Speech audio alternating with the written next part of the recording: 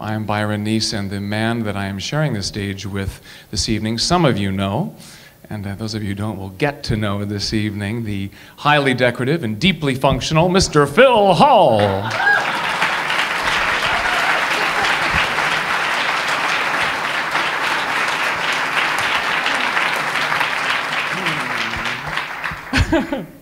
and uh, we're hopefully going to take you on a journey from the uh, parsonage to Broadway. Someone asked me today what the parsonage was. Is there anybody else that doesn't know? I just, you know, growing up a preacher's kid, I thought everybody knew.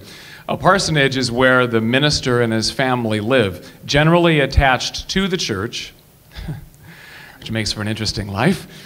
Um, but it's always the, the home that is provided for the minister and his family by the church. So that's, that's what a parsonage is, sort of like, you know, a rectory.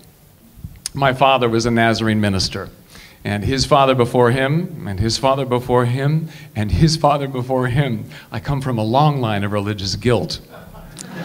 and, uh, but I, I, do love singing in churches. It's so much a part of, um, of who I am and how I was raised. They say that PKs, preachers' kids, are the worst, but I wasn't so bad. I wanted my dad to be proud of me too much. I wanted God's love too much.